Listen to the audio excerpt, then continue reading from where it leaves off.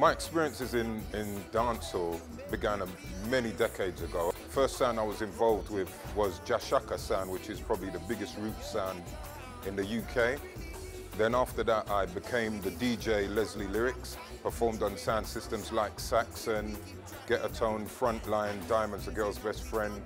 I've DJed in Jamaica. When I was 17, I became a youth worker and started to incorporate using reggae culture in my work with young people. I use a lot of music to kind of show them that there are alternative ways of thinking about themselves, their places in the world. A lot of young people are confused. They're confused because we've gone from an industrial age to a technological age. The educational system hasn't caught up with it. I try to do is I try and ease that confusion. When really they're not any worse than I was. They just have more information.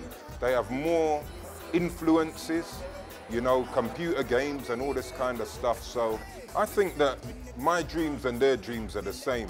You know, more or less their aspirations are the same. It's just that there are different barriers in the way now. Are you awake? Okay. Greetings.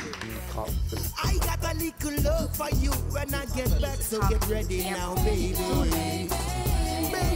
Can do something new, just between me and you. Fade away. Aspiring at him and him walk with barefoot pan dry land. My most gratifying experience as a teacher was this project that our company did, New Beyond Limited Learning by Choice. It was in 2006 we ran a summer school with 10 young people.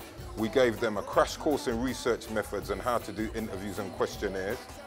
We got a professional filmmaker, we got a website designer, and in four weeks, they produced an interactive CD-ROM, a one-hour documentary DVD where they interviewed people like Dennis Bovell, Linton Kwesi Johnson, Maxi Priest, 32 reggae performers they interviewed. So this was the DVD, this is the booklet, and most of these things are available on our website. I try and steer them away from that. And I also try to teach them to be global citizens. Think beyond the UK. Think beyond Great Britain. There's a beautiful world out here for all of us.